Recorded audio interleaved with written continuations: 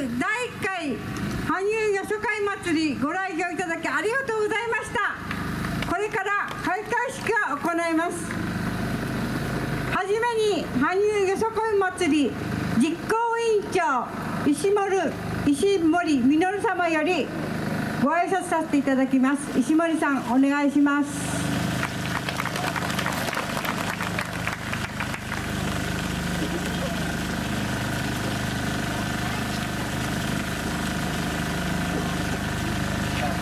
皆さんおはようございます。実行委員長の石森稔でございます。本日はお忙しい中第1回羽生よさこい祭りにご来場いただきまして誠にありがとうございます。また参加していただく団体の皆様にはこの場をお借りして感謝申し上げます。さて羽生よさこい祭りは羽生市の新たな祭りとしてこの度開催することになりました。各団体の皆様には躍動感あるよさこいを楽しみながらご指導いただきここ羽生市から元気を発信していただければと思っております。本日平和公園には羽生市の人気飲食店6店舗が出店しております。ご来場いただいたお客様には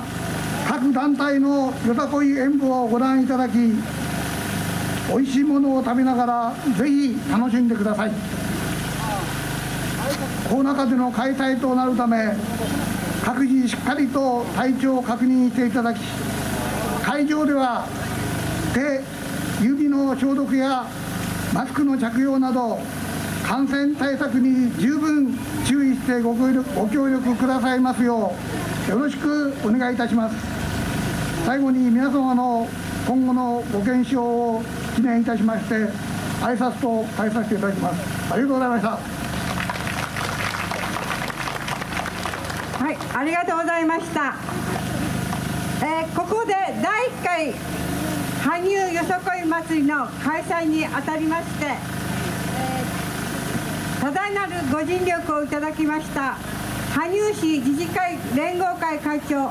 長谷川道夫様をご紹介させていただきます。長谷川さんどうぞ。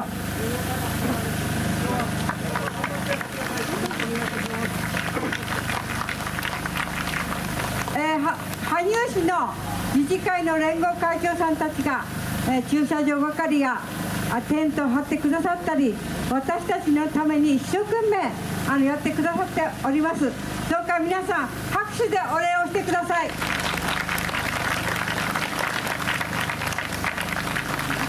えーここで本日お忙しいとこご臨席を賜りましたご来賓の方々からご挨拶をさせていただきます。羽生市市長であり一般社団法人羽生市観光協会会長の川田孔明様よりお願いいたします。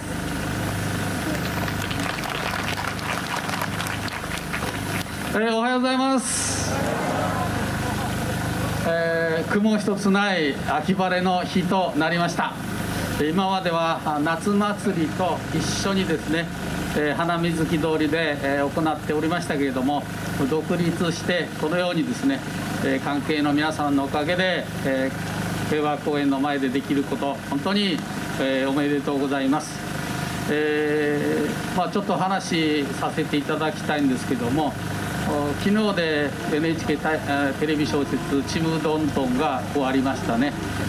来年の4月1日から「らんまん」というえー植物学者の牧野富太郎の生涯をする、テレビになるわけですけどもその牧野博士が、羽生市の天然記念物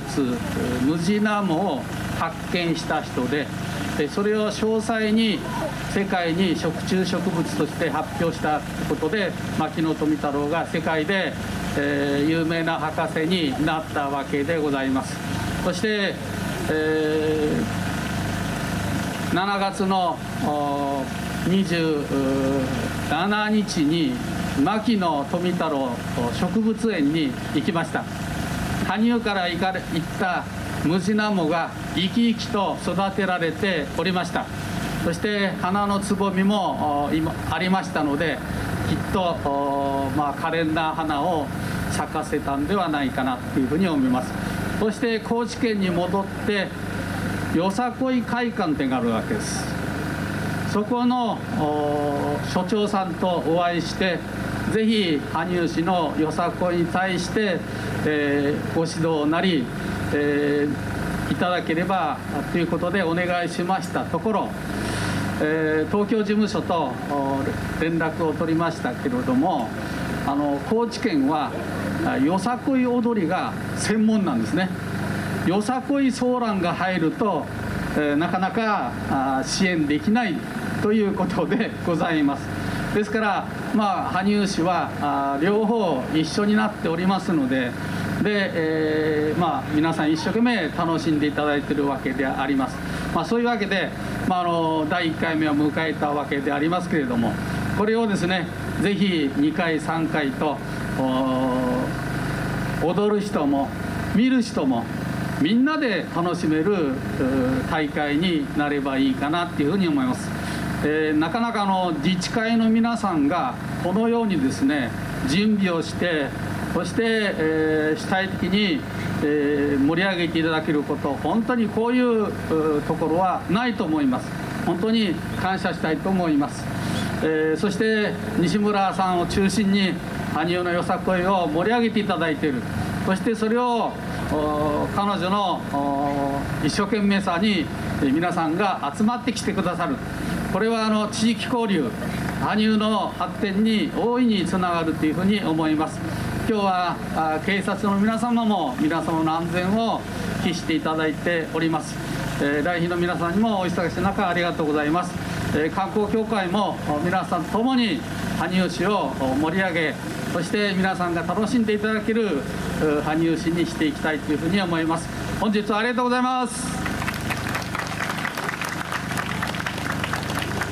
はい。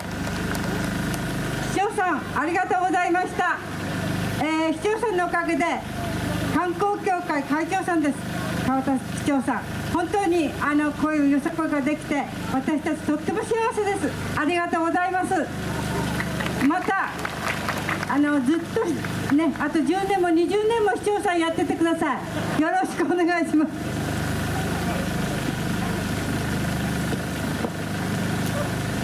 えー、続きまして羽生市議会議長島村勉様をご紹介させていただきます、えー、一言ご挨拶お願いいたします。島村様よろしくお願いします。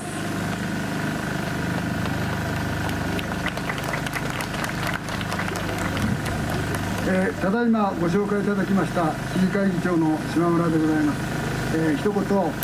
挨拶を申し上げたいと思います。この羽生市の新たなイベントである第1回、えー、羽生よさこい祭り。これがこのように盛大にまた本当に秋晴れの雲一つない中で開催されること心からお喜び申し上げます、えー皆様方のよさこいあの羽生夏祭りでもですね、えー、見せていただきまして、えー、ものすごい元気がいい、えー、人と人のつながりをの温かさや踊り手のエネルギーが、えー、皆さん見てる人々を元気づけ地域を活気づける原動力となっていました。このように皆様の皆様を目の当たりにしまして羽生市の活力を強く感じるとともに関係者の皆様方のお骨折りに対しまして改めて深く感謝を申し上げます、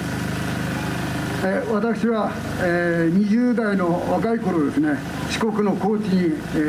約10年間四国の会社に10年間勤務しておりました、そこでは毎年ですね皆さんご存知の通り、高知市全体でよさこい鳴子踊りっていうのを、高知城高知城の下帯谷筋から大手筋そういうところをですね連をなして盛大に、え、練り歩いてました。私も3年ほど3回ぐらいはあの踊らせていただきましたけれど。まあその時の感じと今皆様方のよさこいを見てましてですね、えーもう素晴らしく進化している、えーよさこい踊りに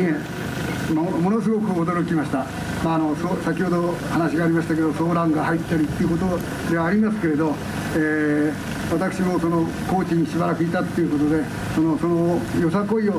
続けてくれるっていうのは本当にありがたいことだと思ってますしあの10年いましたので友達もたくさんおります。えーえーだダメになりましたけど結びに新しい新たに始まりましたこの羽生よさこい祭りを羽生市全体で大いに盛り上げていただき楽しい今日楽しい一日となりますことをご記念申し上げまして挨拶とさせていただきます、えー今日は本当におめでとうございます。よろしくお願いします。はい、ありがとうございました。えー次は埼玉県議会議員諸井正秀様、一言ご挨拶お願いいたします。えー皆さんおはようございます、えーご紹介いただきました県議会議員の諸井でございます、えー本日は第1回のよさこい祭りということで暑さに気をつけながら楽しんでいただければなと思っております。何でも第1回目を立ち上げるというのは本当に大変なことだと思います。あの実行委員さんの皆様方にも心から感謝を申し上げたいと思います。ということで暑さに気をつけて楽しい一日にしてください。おめでとうございます。